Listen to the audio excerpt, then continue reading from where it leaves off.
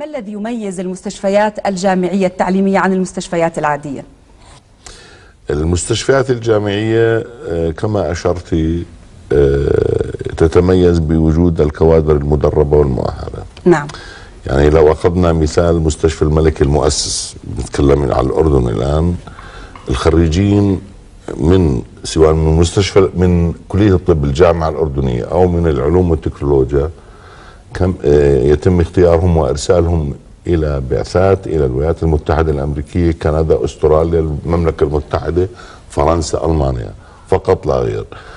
ويعودوا للعمل بهذه المستشفى. بمعنى مدربين على مستوى متقدم ومتخصص جدا.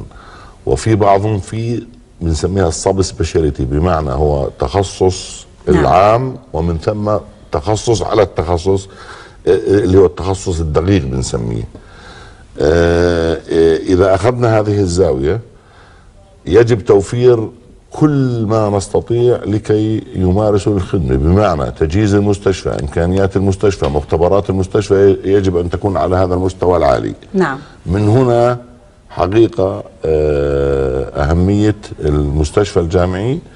إضافة إلى ما يسمى بالتعليم الطبي المستمر أو التطوير المهني المستمر اللي هو آه، لمواكبة ما استجد رقم ثلاثة البحث العلمي من مهام من من مهام هذه المستشفيات وتطوير البحث العلمي بحيث يعني يكون في عندنا آه، أحدث مستجدات في عالم الطب لتقديمها لمرضانا. المستشفيات هذه أيضا فيها تجهيزات خاصة بالنسبة للأعداد البشرية غير المعدات والمختبرات بمعنى آه، عندنا مثلا آه، الوحدات العناية الحثيثة يجب أن تكون حسب المعايير الدولية. آه، العناية بالخداج، العناية بالأطفال إلى الجراحة اليومية فهذا كلياته من مهام المستشفيات ال- الجامعية. الجامعيه وكما أشرت حضرتك لموضوع تعليم وتدريب طلبة الطب، طلبة التمريض، العلوم الطبية المساندة، الأسنان، الصيدلة. وهذا لحاله مسار كبير. عالم آخر. نعم نعم. نعم.